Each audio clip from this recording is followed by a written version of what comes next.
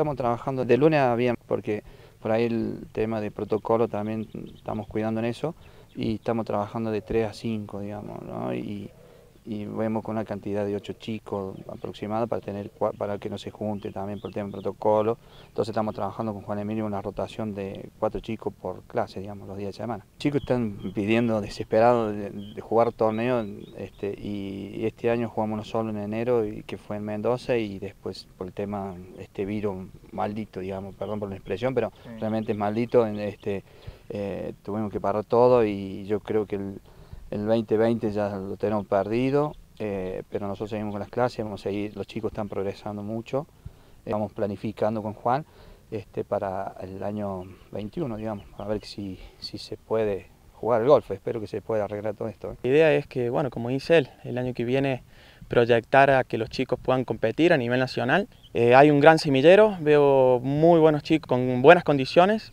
que pueden andar muy bien, así que hay que apostar por, por ellos. Esa es la idea, sí, sí, sí. Yo sigo un poquito acá los, los pasos que Carlos tiene con los niños, que la verdad que él se adapta muy bien con ellos. Yo soy más de, me gusta mucho eh, enseñar en lo que es en la cancha, en la parte estratégica, salir con los chicos a la cancha, eh, pero bueno, vamos a trabajar en conjunto para mejorarlos en lo técnico también, ¿no? Y que acompañarlos el día de mañana si tienen que ir a competir afuera. Esa es la idea, sí, que se sumen cada día más chicos y que tengamos una escuela grande de, muchas, de muchos niños.